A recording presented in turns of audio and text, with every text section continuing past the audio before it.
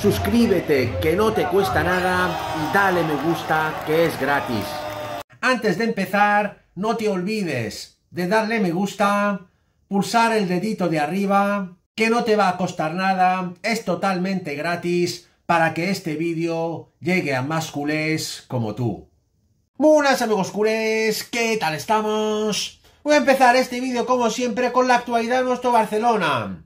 Ya es oficial la FIFA confirma ranking del Barça para el Mundial de Clubs. Vamos a por ello. Pues bien, oficial, la FIFA confirma ranking del Barça para el Mundial de Clubs. La FIFA ha creado un programa en línea donde se podrá seguir la pugna por las plazas disponibles para fase final del nuevo Mundial de Clubs. El Barça ocupa la doceava plaza de ranking UEFA y necesitan llegar hasta las semifinales de la Champions League y que el Atlético de Madrid no remonte ante el Inter. Ojo, ojo a esta situación donde está el Barça referente al Mundial de Clubs. Estamos en una situación bastante complicada.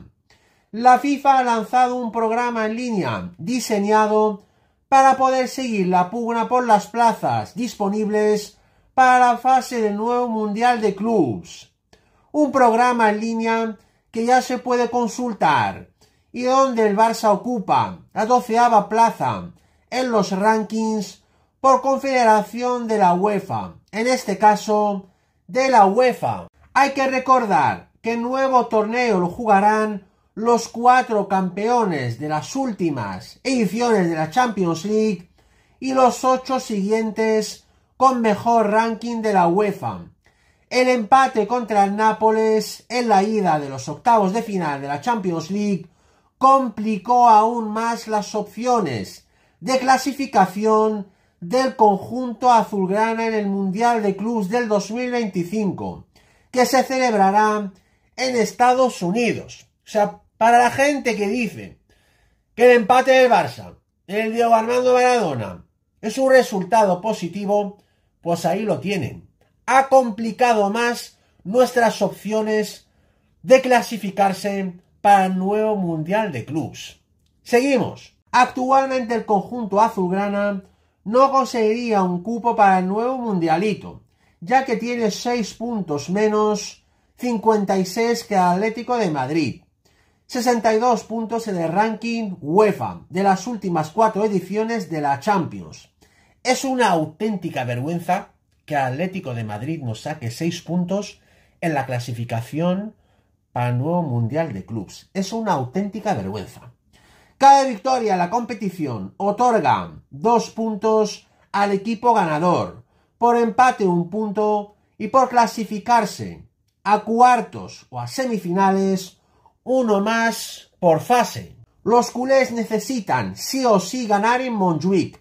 La vuelta, dos puntos por la victoria y uno por pasar a cuartos. Y que el Atlético de Madrid caiga en el Metropolitano. Aún así, la diferencia sería aún de tres puntos. Es decir, si ganamos al Napoli en Montjuic, que tenemos que ganarla sí o sí para pasar a cuartos, no hay otra y Atlético de Madrid caiga ante el Inter en el Wanda, aún así los colchoneros nos sacarían tres puntos de ventaja. Por lo que el Barça debería pasar a semifinales si se diera el caso de que los azulgranas y rojiblancos terminan empatados a puntos. Conseguiría el billete para ir al Mundial de Clubs el Fútbol Club Barcelona por haber sumado más en esta edición de la Champions League. Seguimos. Los seguidores podrán ver cómo evoluciona la situación de sus clubes a través de esta herramienta, accesible a través de FIFA.com, que está estructurada en siete secciones. La sección principal presenta a todos los equipos clasificados, ya sea como campeones continentales o por haber obtenido su lugar a través de la tabla de su confederación. Desde esta página principal, los usuarios pueden acceder a las seis secciones restantes, cada una centrada en una de las seis confederaciones de la FIFA. ¿Sabéis cuántos equipos van a participar en el nuevo Mundial de Clubs que se juega en Estados Unidos el próximo año, 2025? 32 equipos. Y el Barça todavía no está entre esos 32 equipos que van a participar. ¿Sabéis cuánto dinero se juega en ese Mundial de Clubs 2025, nueva edición? Más de 100 millones de euros. Es decir, es equivalente a ganar 4 o 5 ligas consecutivas. Esta liga adulterada. Es equivalente a ganar 4 o 5 consecutivas. El, el dinero que se juega en ese nuevo Mundial de Clubs 2025. Más de 100 millones de euros. Y el Barça todavía no está clasificado. Y para clasificarse, el Atlético tiene que quedarse fuera. El Inter lo tiene que echar en el Wanda, cosa que no sería fácil. Y el Barça tiene que eliminar, obviamente, al Napoli y eliminar a otro equipo en cuartos y clasificarse para semifinales. Supongamos que el Barça pueda eliminar al Napoli. Y eso, ¿eh? Siendo optimistas, cruzando los dedos, yo creo que el Barça lo puede hacer. O debería hacerlo. Pues aún así no bastaría. Si echamos al Napoli y lo clasificamos para cuartos de final de la Champions y el Inter echa al Atlético de Madrid, aún así el Atlético estaría por encima de nosotros. No bastaría. Ya sabemos, pues los equipos que nos pueden tocar en cuartos. Ya son los huesos duros de la competición. Es que de verdad, yo estoy.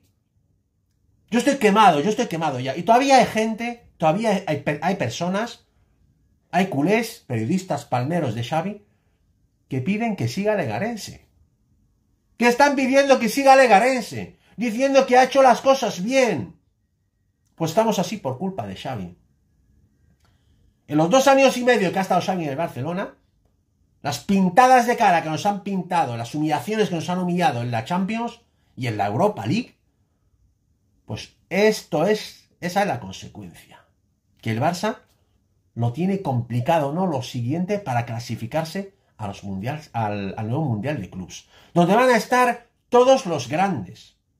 Real Madrid, hasta PSG, que nunca ha ganado la Champions, pues ya está clasificado. Manchester United, City, Bayern, todos los grandes, aparte de otros equipos de Arabia y el resto del mundo. Y no estamos clasificados, señores. Y lo tenemos complicado, ¿no? Lo siguiente. ¿Por qué? Porque Xavi ha hecho ridículo en Europa en estos dos años. Es así. Y encima, el empate contra el Napoli, con lo que teníamos el partido, vamos, en las manos, pues el empate, por culpa de un defensa que no estaba a nivel para jugar, pues hemos perdido puntos por un partido que lo teníamos prácticamente en la mano. Así que esos palmeros de Xavi, cuando vean a nuestro Presi y le ponga la cachofa en la boca pidiéndole la continuidad de Legarense, que recuerden que el Barça está casi fuera del mundialito de clubs por culpa de Xavi. Y al fin y al cabo le están defendiendo solo por interés. Algunos ya me entendéis. Ahí lo dejo. Y ahora vamos con el temazo principal. Última hora. El Barça sacrifica a Vito Roque y confirma el bombazo con Haaland. Fuentes muy importantes y cercanas al club informan que el Barça va a ir a por todas, a por Haaland, en verano. La cláusula no es de 175 millones, esa cláusula es para los clubes de la Premier, pero los clubes fuera de la Premier, como el Barça, en este caso, pues solamente tienen que pagar una cláusula que es entre 100 y 120 millones de euros. Las mismas fuentes aseguran que la estrategia va a ser la siguiente. El Barça va a hacer una revolución histórica en verano, más de 10 ventas, entre ellos, pues Rafinha, Ferran, incluso Robert Lewandowski, el Barça va a poder en mercado a Lewandowski en verano con el objetivo de colocarlo en Arabia Saudí. Sabemos que varios clubes de Arabia están locos por Lewandowski y están dispuestos a pagar hasta 100 millones de euros por el delantero polaco. Cerrar nuevos patrocinios millonarios, sobre todo con empresas de Arabia Saudí y Emiratos Árabes Unidos. Y por último, ceder a Vitor Roque mínimo durante dos temporadas.